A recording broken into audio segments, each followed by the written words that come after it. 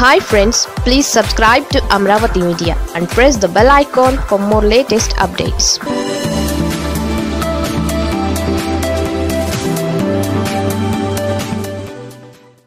Jagan bail రద్దవుతుందా? ఈ ప్రచారంలో నిజమెంత? ఒక సుప్రీంకోర్టు జడ్జి జస్టిస్ రమణ మీద తన సొంత రాష్ట్ర ముఖ్యమంత్రి జగన్ అది కుల రాజకీయాల్లో కంపు కొడుతున్న ఒక రాష్ట్రం నుంచి తన ప్రధాన రాజకీయ ప్రత్యర్థి చంద్రబాబుకు సన్నిహితుడు అనే ఆరోపణలని వ్యాప్తి చేస్తున్న స్థితిలో అదే జడ్జిని భావి సుప్రీంకోర్టు చీఫ్ జస్టిస్గా నియమించే స్థితి వైపు కేంద్ర ప్రభుత్వం అడుగులు వేయడం ఖచ్చితంగా ఓ డిబేటబుల్ సబ్జెక్ట్.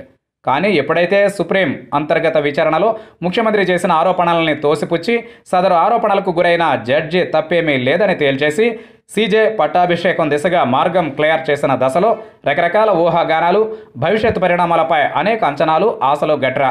ఒక ముఖ్యమంత్రి ఆరోపణలకు వాల్యూ లేదా అనే పాయింట్ దగ్గర నుంచి రేపొద్దున జగన్ బెయిల్ రద్దవుతుందా మళ్ళీ జైలుకు వెళ్ళాల్సిందేనా అనే పాయింట్ దాకా రకరకాల చర్చలు వాదోపవాదాలు ఆశలు అంచనాలు విశ్లేషణలు గట్రా.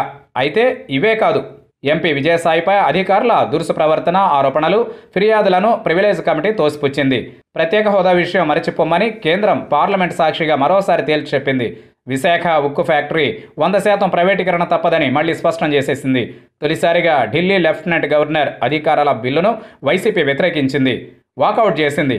కేంద్ర ప్రైవేటీకరణ యజ్ఞానికి వ్యతిరేకంగా వైసీపీ భారత్ బంద్కు మద్దతు ప్రకటించింది. అంటే బీజేపీ వైసీపీ దోస్తానాకు తెరపడినట్లేనా? బీజేపీలోని చంద్రబాబు మనుషులు క్రమేపీ పట్టు సాధిస్తున్నారా? చంద్రబాబు అండ్ కంపెనీ కోరుకున్నట్టు రేపొద్దున్న జగన్ను మళ్ళీ జైలుకు పంపిస్తారా?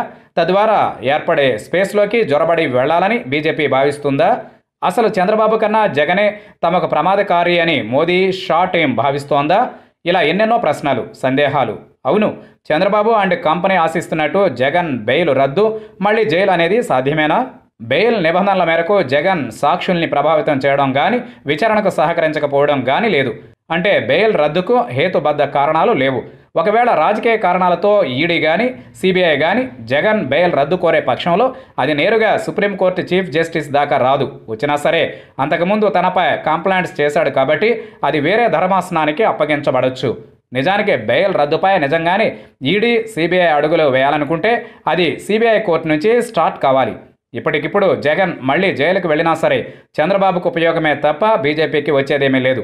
కొన్ని పొలిటికల్ సెక్షన్లు అనుమానిస్తున్నట్లుగా మమత స్టాలిన్ కేసీఆర్ జగన్ ఓవైసీ రేపొద్దున శరద్ పవర్తో కలిసి బలమైన థర్డ్ ఫ్రంట్కు శ్రీకారం చుట్టినా సరే కాంగ్రెస్ పార్టీని పూర్తిగా పక్కన పెట్టేసినా సరే మోదీ షా చేతులెత్తేసి సరెండర్ అయ్యే సవాలే ఉండదు. ఎందుకంటే బేసిక్గా బీజేపీ స్థూల స్ట్రాటజీలు వేరు.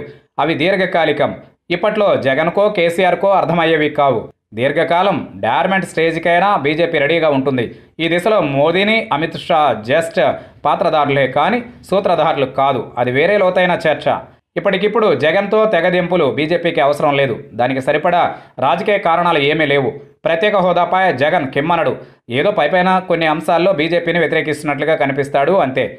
చంద్రబాబుతో ఒకవేళ దోస్తి పెంచుకున్నా సరే ఆయన గారు ఏదో ఓడబొడుస్తాడనే భ్రమలు మోదీ షాలకు లేవు.